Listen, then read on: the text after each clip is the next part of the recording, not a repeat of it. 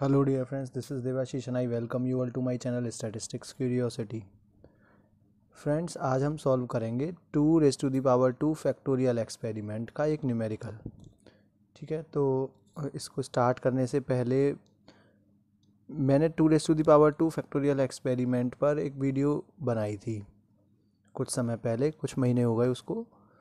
और उस वीडियो पे काफ़ी अच्छा रेस्पॉन्स आया और उसके कमेंट सेक्शन में कई सारे स्टूडेंट्स ने सजेस्ट किया कि मैं न्यूमेरिकल पे एक अलग से वीडियो बनाऊँ। तो वही ट्राई किया है मैंने। तो इस न्यूमेरिकल को करने से पहले जिन लोगों ने वो वीडियो नहीं देखी है प्लीज़ उसको पहले देख लीजिए। और उस वीडियो का जो लिंक है वो मैंने डिस्क्रिप्शन में दे दिया है। तो प्लीज़ पहले उस वीडियो को देखिए। एंड देन इस न्यूमेरिकल को सॉल्व करिए, करेंगे और इसको देखिएगा तो अच्छे से समझ में आएगा क्योंकि कॉन्सेप्ट मैं वहाँ समझा चुका हूँ। यहाँ मैं स्टेप्स ऑफ़ कैलकुलेशन पे ज़्यादा फोकस करूँगा, जो थियोरटिकल आस्पेक्ट है उस पर फोकस नहीं करूँगा, वो ऑलरेडी मैं सिखा चुका हूँ। तो प्लीज़ पहले उस वीडियो को देखिए देन इस वीडियो पे आइए। ठीक है? चलिए तो स्टार्ट करते हैं।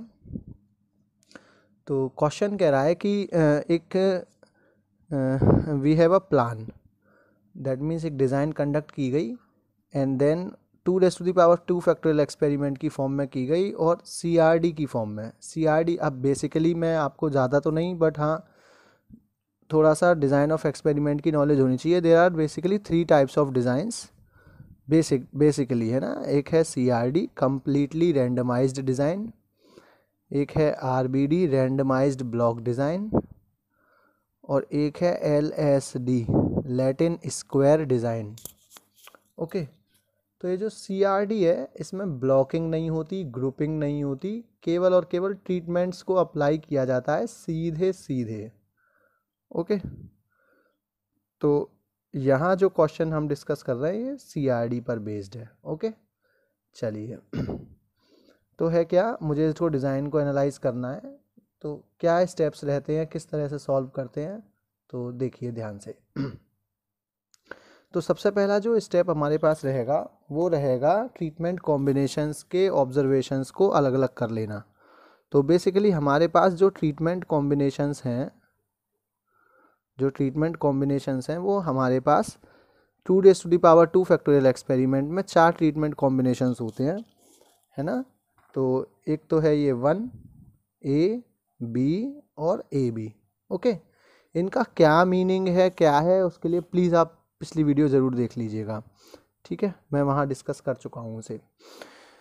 तो ये हैं और इनके करस्पॉन्डिंग ऑब्जर्वेशंस जो मुझे दे रखे हैं तो देखिए वन का एक ट्वेंटी ये है ट्वेंटी और वन का सेवनटीन है और नाइनटीन है। अब ए का देखिए twenty eight then twenty four then twenty four okay B का देखिए इलेवन फिर फिफ्टीन और फिर टेन ओके अब देखिए ए बी का ट्वेंटी थ्री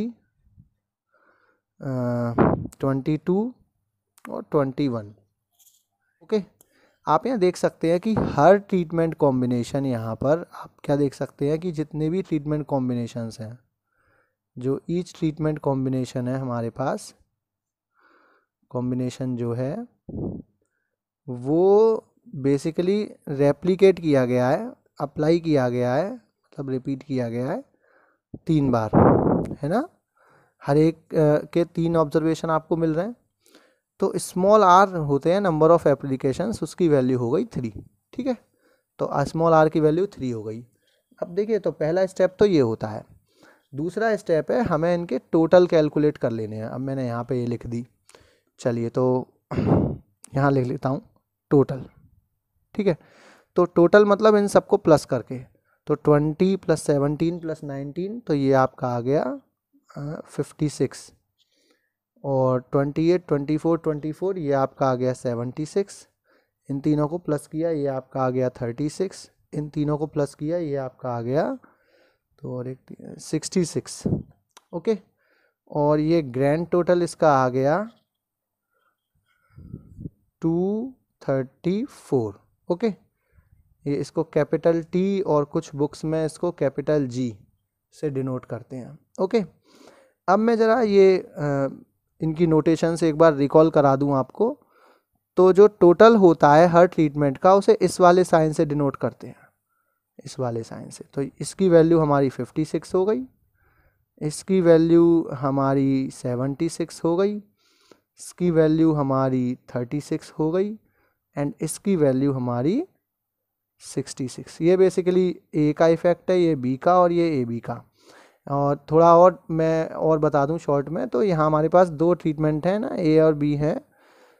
इनको दो अलग अलग लेवल पर अप्लाई किया गया है तो ये हो गया two raise to the power two factorial experiment हो गया, है ना? दो अलग अलग लेवल हैं इनके. A zero A one B zero B one तो मैं प्लीज़ फिर से रिकमेंड करूँगा कि पहले आप इसकी बेसिक थ्योरी समझने के लिए पिछली वीडियो देख लें। उसके बाद इधर आएँ। चलिए, आगे बढ़ते हैं। तो एक तरीके से क्या हो गया? पहला स्टेप हो गया हमारा ट्रीटमेंट कॉम्बिनेशंस के टोटल लिखना। ठीक है, अब दूसरा स्टेप में जो डिस्कस करेंगे, दूसरा स्टेप वो है basically sum of squares calculate करने हैं।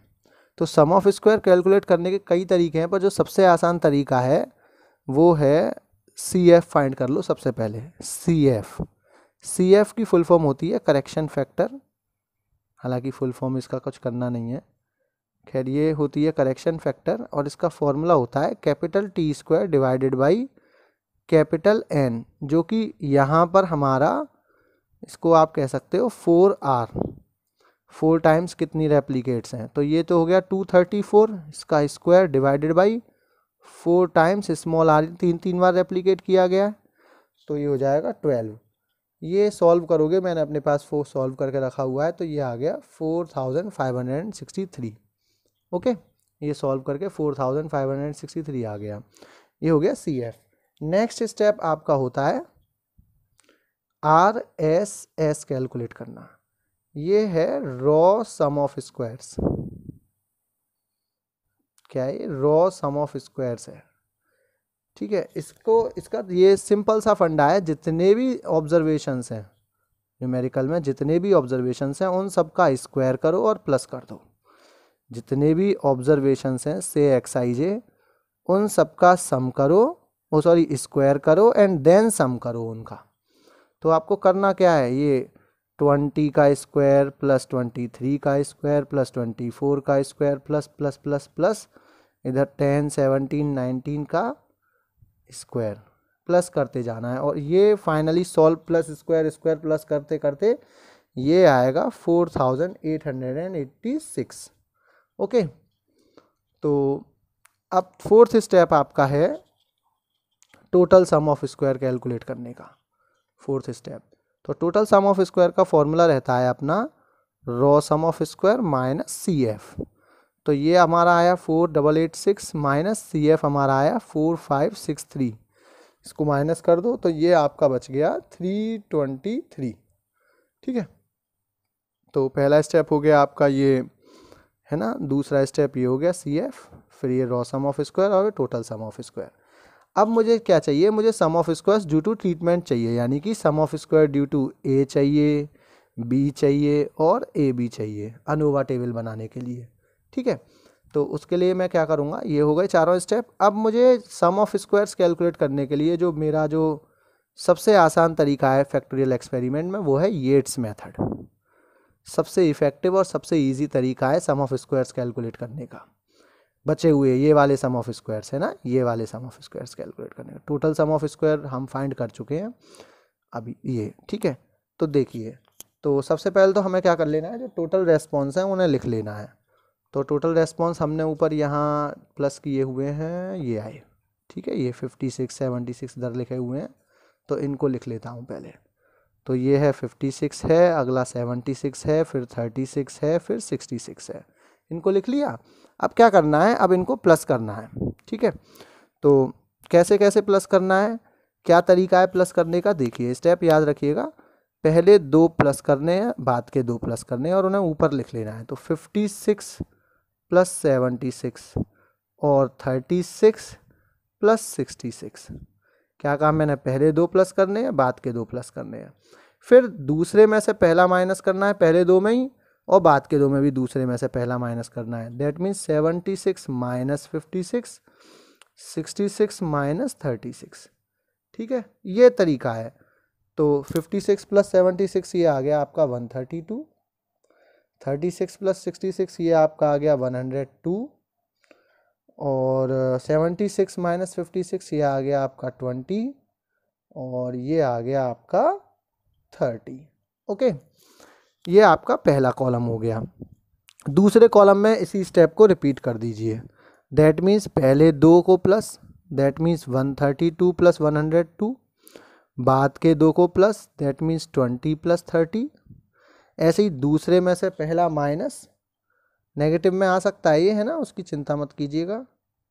और thirty minus twenty thirty minus twenty इनको प्लस किया तो ये आ गया टू थर्टी फोर इनको प्लस किया, ये आ गया फिफ्टी। इनको माइनस किया तो नेगेटिव थर्टी और इन्हें माइनस किया तो ये आ गया टेन। ओके? अब नेक्स्ट है हमारा कॉलम डिवीज़र का। तो डिवीज़र मेरे पास होता है बेसिकली फोर टाइम्स आर। ठीक है? फोर मतलब चार ट्रीटमेंट कॉम्बिनेशन, यही वो one, A, B A, B, है ना? और आर मतलब नंबर ऑफ़ रेप्लीकेट्स। तो ये चीज़ ट्वेल्व है, ये चीज़ ट्वेल्व ही है हर एक कॉलम के लिए। ठीक है? डिवीजर। अब सम ऑफ़ स्क्वायर्स तो सम ऑफ़ स्क्वायर्स का फॉर्मूला बेसिकली मैं यहाँ लिख देता हूँ, जो फॉर्मूला है, वो है सम ऑफ़ स्क्वायर का जो फॉर्मूला है, वो ये है कि जो भी टोटल आया है, वो उसका स्क्वायर करो और डिवाइडेड बाय डिवीज़र ये फॉर्मूला है, ठीक है? तो टोटल मतलब इसको कैपिटल लेटर से डिनोट करते हैं। तो ये बेसिकली इसको अगर मुझे ए के लिए कैलकुलेट करना है तो ये हो जाएगा A square divided by four R है ना? और ये क्या चीज़ है ये? ये वाले कॉलम है, ये। ये है ये, ठीक है? ये आप कह सकते हो कि कैपिटल ए तो है फिफ्टी और कैपिटल बी है माइनस थर्टी और कैपिटल ए बी है टेन ठीक है? और ये two thirty four two overall total है ओवरऑल टोटल तो इसका स्क्वायर करके और आप डिवाइडेड बाई ट्वेल्व कर दोगे तो ये तो सी एफ़ आ जाएगा आपका। ठीक है? और इधर आप फिफ्टी का स्क्वायर करिए और डिवाइडेड बाई ट्वेल्व करिए। फिफ्टी का स्क्वायर डिवाइडेड बाई ट्वेल्व तो ये आ जाएगा आपका सॉल्व होकर two hundred eight point three three ऐसे ही इधर कर दीजिए आप माइनस के थर्टी का स्क्वायर डिवाइडेड बाई ट्वेल्व तो ये आपका आ गया सेवेंटी फाइव। इधर कर दीजिए आप टेन का स्क्वायर डिवाइडेड बाई ट्वेल्व तो ये आ गया एट पॉइंट थ्री थ्री। ठीक है, ये rounded off to second place हैं सारे नंबर्स ये आपका कहलाएगा sum of square due to A ये आपका कहलाएगा sum of square due to B और ये आपका कहलाएगा sum of square due to A B interaction effect A B ये एक, ये तीन सम ऑफ़ स्क्वायर्स निकले आए। ठीक है अब मुझे फाइंड करना होता है नेक्स्ट स्टेप में। एक ये तो हो गया, आपका फिफ्थ स्टेप हो गया येट्स मेथड वाला, है ना? अब सिक्स स्टेप में आपको फाइंड करना होता है sum of square due to error S S E और इसका फॉर्मूला होता है टी एस एस माइनस बाकी जितने भी सम ऑफ़ स्क्वायर हैं, उनको प्लस करके टी एस एस में टोटल में से माइनस कर दो। तो S S A plus S S B plus S S A B है ना? तो ये टी एस एस एस हमारा तो कितना आया था? टी एस एस एस ये आया three twenty three minus S S A S S A two hundred eight point three three plus S S B seventy five यह है ना seventy five plus S S A B eight point three three इसे solve किया minus किया plus plus कर कर आके calculation तो ये आ गया आपका thirty one point three four, okay? ये हो गया आपका सिक्स स्टेप, ठीक है? आगे बढ़ते हैं। अब देखिए, फिर से एक बार बता दूँ आपको कि बेसिकली सीन क्या है कि अपने पास डेटा दे रखा है। तो मेरे को ना अनोवा टेबल बनाने के लिए सबसे ज़्यादा जो सबसे ज़्यादा क्या, जिस चीज़ की ज़रूरत पड़ती है वो होते हैं सम ऑफ़ स्क्वायर्स बाकी की चीज़ें अनोवा टेबल में फाइंड हो जाती हैं। तो सम ऑफ़ स्क्वायर फाइंड करने के लिए जो स्टेप्स हैं, वो आपने देखे। ठीक है? तो मेरे पास जब सारे हर ट्रीटमेंट कॉम्बिनेशन के सम ऑफ़ स्क्वायर आ चुके हैं, अब मैं क्रिएट करूँगा स्टेप नंबर सेवन में। अब मैं क्रिएट करूँगा भैया अनोवा टेबल ठीक है? अनोवा टेबल क्रिएट करेंगे हम अब। अनोवा टेबल का क्या सीन है, देख लीजिए। तो सोर्स ऑफ़ वेरिएशन मेरा है A treatment effect A treatment effect B और interaction effect of both treatment A B और एरर और बाद में यहाँ लिख सकते हो, हालाँकि उसका कोई काम नहीं है टोटल चलिए तो sum of squares due to A चलो डिग्री पहले ये देख लेते हैं degree of freedom sorry degree of freedom basically होता है जितनी उसकी वैल्यू है माइनस वन बेसिकली ये है, बाकी और मैंने इसको ना डिटेल में मैंने पिछली वीडियो में क्योंकि डिस्कस कर दिया है तो मैं सीधे बता देता हूँ। इनकी degree of freedom one one और वन होती है। अब ऐसा क्यों है, एक बार और मैं शॉर्ट में बता देता हूँ कि टोटल हमारे पास चार ट्रीटमेंट कॉम्बिनेशन है। चार में से हमने एक माइनस किया तो बचे तीन। तो ये तीन, तीनों पे डिस्ट्रीब्यूट हो गए। एक हो गया ए ए को डिस्ट्रीब्यूट, एक हो गया बी को और एक हो गया ए, बी को। ऐसा करके सीन है। ठीक है? चलिए तो ये इन तीनों की एक एक डिग्री ऑफ़ फ्रीडम हो गई। इधर total degrees of freedom total observation में से एक माइनस कर दो तो टोटल ऑब्जर्वेशन है बारह। बारह में से एक माइनस किया तो ये बचा ग्यारह। ठीक है? अब ग्यारह ये, तीन ये इलेवन में से थ्री माइनस कर दो। तो eleven minus three this will become eight okay तो ये आपकी आ गई degrees of freedom degrees of freedom ensure हो जाइए बिल्कुल इस बात में कि ए बी और ए बी इनकी वन वन वन ही होगी हर बार। ठीक है? बाकी टोटल की आप सब जो भी ऑब्जर्वेशन है, उसमें से वन माइनस कीजिए और फिर उसमें से इन थ्री माइनस करके आपको एरर की डिग्री ऑफ़ फ्रीडम पता चल जाएगी। उसमें कोई भी परेशानी वाली बात नहीं है। जब ब्लॉकिंग होती है दैट मीन्स ब्लॉक्स होते हैं तो ब्लॉक काउंट कर लिए जाते हैं। कितने ब्लॉक हैं? और उनकी डिग्री ऑफ़ फ्रीडम जितने भी ब्लॉक होते हैं, माइनस वन करके निकल आती है। हालाँकि क्योंकि ये सीआरडी डिज़ाइन है सीआरडी तो इसमें ब्लॉक्स हैं ही नहीं तो ये यहीं ख़त्म होगी कहानी। अब सम ऑफ़ स्क्वायर्स लिख लेते हैं। सोर्स ऑफ़ वेरिएशन ए के सम ऑफ़ स्क्वायर थे, हमने ऊपर कैलकुलेट कर लिए थे two hundred eight point three three दिख रहे होंगे आपको मेरे ख्याल में स्क्रीन में, देखिए ये। ठीक है? बी का है सेवेंटी फाइव और ए बी का है एट पॉइंट थ्री थ्री ठीक है? और एरर के जो सॉल्व होके आया, वो आया thirty one point three four okay? अब मीन सम ऑफ़ स्क्वायर क्या होता है? मीन सम ऑफ़ स्क्वायर्स होते हैं sum of square divided by degree of freedom ठीक है साहब? तो sum of square two hundred eight point three three divided by one करोगे तो सेम लॉट के आ जाएगा? Two hundred eight point three three ऐसे ये सेवेंटी फाइव ऐसे ये एट पॉइंट थ्री थ्री इधर thirty one point three four divided by eight करना पड़ेगा। तो thirty one point three four divided by eight ये मैंने किया हुआ नहीं है। तो एक मिनट। हाँ तो ये हो जाएगा आपका divide three point nine two okay ये डिवाइड कर लिया। अब बात आती है एफ़ कैलकुलेटेड की। तो फॉर्मूले में सोच रहा था कि रेड पेन से लिखूँगा, भूल ही गया। चलिए तो एफ़ कैलकुलेटेड फॉर्मूला रहता है sum of square due to जिस आ, का भी एफ़ निकाल रहे हो जैसे मुझे ए का निकालना है फॉर ए तो sum of square due to A sorry mean sum of square due to A divided by mean sum of square due to E ठीक है? ये फॉर्मूला रहता है। तो मुझे निकालना है एफ़ एफ़ कैलकुलेटर निकालना है ए के लिए तो mean sum of square A का यानी कि two hundred eight point three three divided by mean sum of square error का. That means three point nine two तो ये आपका आ जाएगा fifty three point three three नहीं fifty three point one five sorry ऐसे ही इधर आपको निकालना है, मान लीजिए ए बी का तो उसके लिए आप क्या कीजिए? M S S A B जो कि है seventy five divided by error three point nine two तो ये मैं सीधे लिख रहा हूँ seventy five divided by three point nine two ये आ रहा है नाइनटीन पॉइंट वन थ्री ऐसे ही नेक्स्ट हो जाएगा eight point three three divided by three point nine two ये आ जाएगा टू पॉइंट वन थ्री इसका निकालने की ज़रूरत नहीं है वन आएगा उसका, उसी में डिवाइड करोगे। मतलब खैर एफ़ कैलकुलेटेड निकालने की ज़रूरत नहीं है एरर खुद का खुद से क्या कंपेयर करना। हाँ तो एफ़ कैलकुलेटेड आपने ए का निकाल लिया, जो कि आया fifty three point one five B का निकाल लिया, नाइनटीन पॉइंट वन थ्री और ए बी का निकाल लिया, टू पॉइंट वन थ्री। जब आपने तीनों एफ़ कैलकुलेटेड निकाल लिए, अब बात आती है कंक्लूज़न की, ठीक है? तो उसके लिए क्या रहता है कि एफ़ टेबुलेटेड फाइंड करना होता है। अब ज़रा एफ़ टेबुलेटेड देख लेते हैं क्या चक्कर है, कैसे फाइंड होगा। देखिए तो एफ़ टेबुलेटेड की जो वैल्यू है, वो एफ़ की टेबल से एफ़ डिस्ट्रीब्यूशन की टेबल से फाइंड होगी पहली बात तो। ठीक है? कैसे फाइंड होगी? आप एक अल्फ़ा चूज़ करेंगे।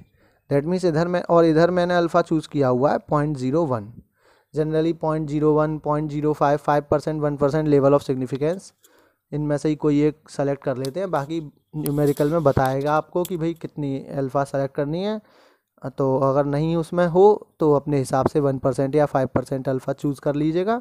इसके बाद आती है डिग्रीज़ ऑफ़ फ्रीडम तो डिग्री ऑफ़ फ्रीडम हम देखते हैं जिसके लिए हमें एफ़ टेबुलेटेड कम फाइंड करना है, जिनसे कंपेयर करने के लिए, उसकी डिग्री ऑफ़ फ्रीडम और एरर की। तो one comma eight degree of freedom पर हम टेबल में देखेंगे one comma eight degree of freedom one comma eight degree of freedom पर देखेंगे, और ज़ीरो पॉइंट ज़ीरो वन मैंने इधर लिया हुआ है आपका अल्फ़ा तो एफ़ की टेबल में आप zero point zero one alpha वाला देखोगे कॉलम और उसमें एक साइड में वन देखोगे डिग्री ऑफ़ फ्रीडम पहली और दूसरी साइड में एट देखोगे तो जो करस्पॉन्डिंग टेबलेटेड वैल्यू एफ़ की आएगी, वो एफ़ की आएगी एलेवन पॉइंट टू सिक्स और वो काम करेगी आपके ए के लिए बी के लिए और ए बी तीनों के लिए। ठीक है? क्योंकि तीनों में वन कॉमा एट सेम वही है। अब क्या रहता है? आगे की कहानी सुनिए। अगर एफ़ की कैलकुलेटेड वैल्यू बड़ी आ गई एफ़ टेबुलेटेड से अगर कैलकुलेटेड वैल्यू बड़ी आ गई एफ़ कैलकुलेटेड से तो आपकी ये जो एच नोट है, वो बेसिकली सिग्निफिकेंट रहती है। कंक्लूजन में आप सिग्निफिकेंट लिखेंगे। अभी इसको मैं पूरी लाइन बता दूँगा क्या रहेगी। ठीक है? और अगर इसका अपोजिट है तो आप नॉन सिग्निफिकेंट लिखेंगे कंक्लूजन में। तो आप क्लियरली देख पा रहे हैं इधर। क्या देख पा रहे हैं? आप देख पा रहे हैं कि 53.15 बड़ा है 11.26 से और 19.13 भी बड़ा है 11.26 से। तो जो जो मेन इफ़ेक्ट हैं ए और बी दोनों सिग्निफिकेंटली डिफरेंट हैं। ठीक है? दोनों सिग्निफिकेंट हैं और ये जो ए बी है इंटरेक्शन इफ़ेक्ट ये नॉन सिग्निफिकेंट है। ठीक है? तो ये आपका आ जाएगा, ये चीज़ आपकी आ जाएगी कंक्लूजन में।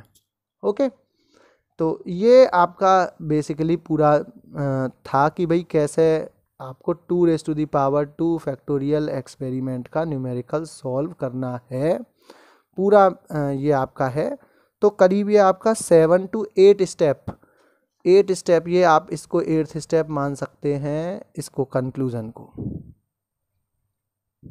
तो एट स्टेप आपका ये प्रोसेस है।